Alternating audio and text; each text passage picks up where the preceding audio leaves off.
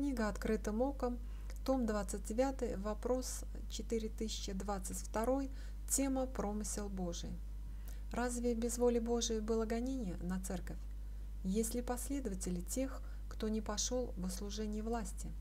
Отвечает Игнатий Тихонович Лапкин.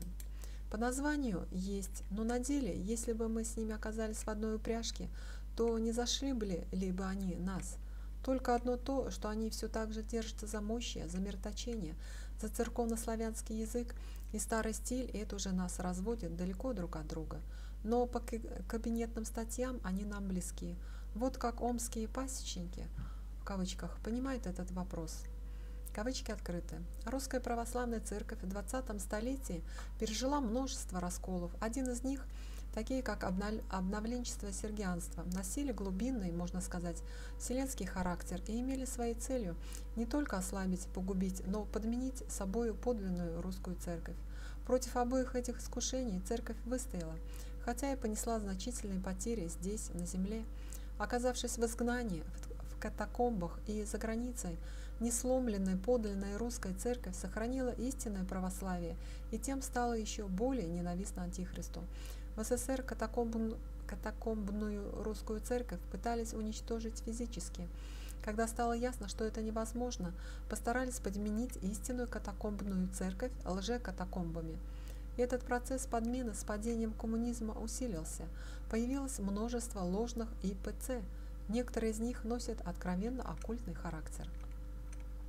За границей, недоступная для советских тюрем и концлагерей, зарубежная русская церковь сохранила не только истинно православное богословие, но и канонический православный епископат и смогла помочь катакомбной церкви тайно восстановить в 1982 году епископство.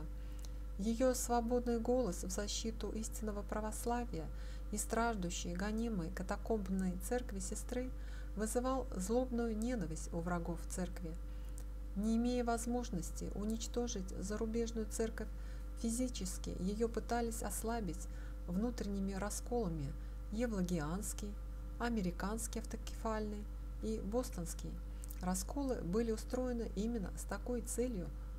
Любой раскол, сколь бы велик или мал он был, это всегда живая боль для истинных пастырей и чад Церкви Христовой – но это всегда и промыслительный отсев пшеницы от плевел.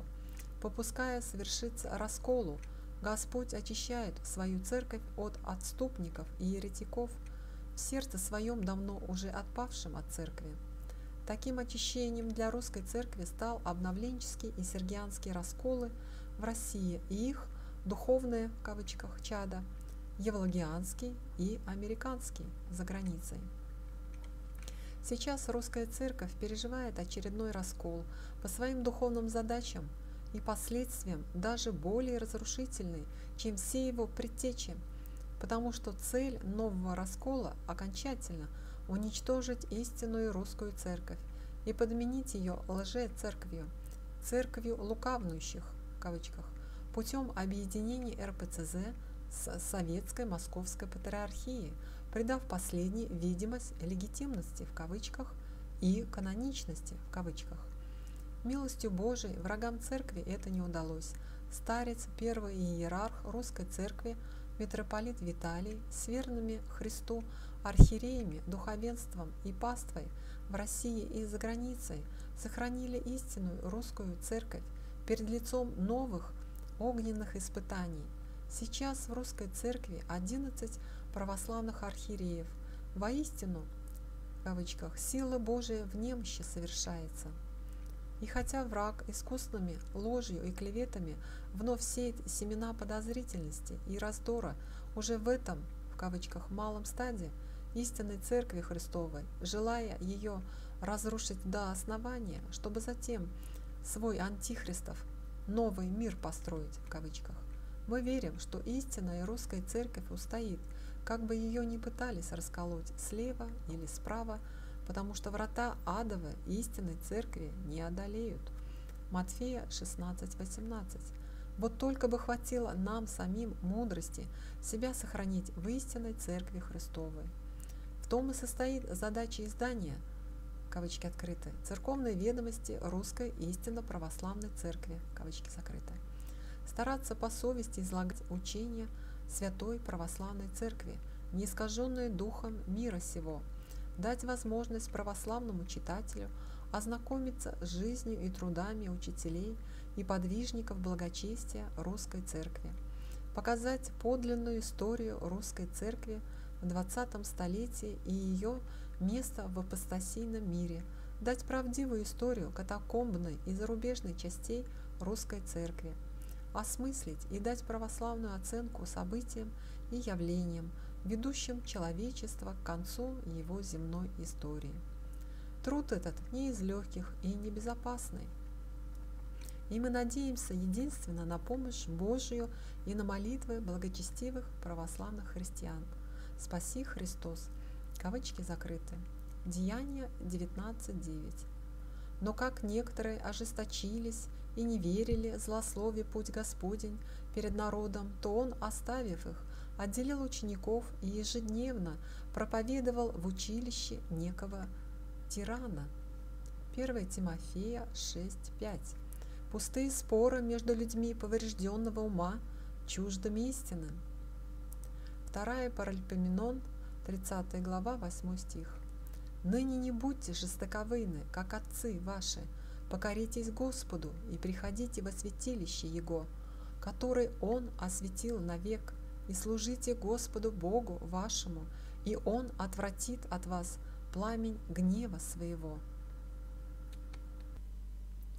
Рекорды Гиннесса пустяшные и смешны, Над самым-самым тешатся зеваки, В заначке многое еще у сатаны, Кто дольше всех проспит и громче квакнет. И все-таки рекорды есть и были, Мы знаем их из Библии священной, Кто первый согрешил, состав его из пыли, Наладил с ангелом и с дьяволом общение. Те первые вне конкурса входили, И тиражировался в миллиардах Каин, Не помогли отступникам кадила — кто те события сгруппировал по капле. Среди евреев первый Авраам, испытанный кошмаром непосильным, и первый Соломон измыслил храм, в котором милости язычники просили, рекорды скорби, тягостных потерь, пророков несчетные гонения. В дому Корнилия распахнута вдруг дверь, евреи-патриоты примут это с гневом. Рекорды зла, безумства на слуху, кто, пере, кто пере, как переламывал ГУЛАГ сто миллионов, священство на Голгофу повлекут, и все нажитое веками мигом сломят. Рекорды вакханалий, режиссуры масонства, комарили очумелой, и революции поддерживали с дуру, отвергнув Библию, взялись за дело.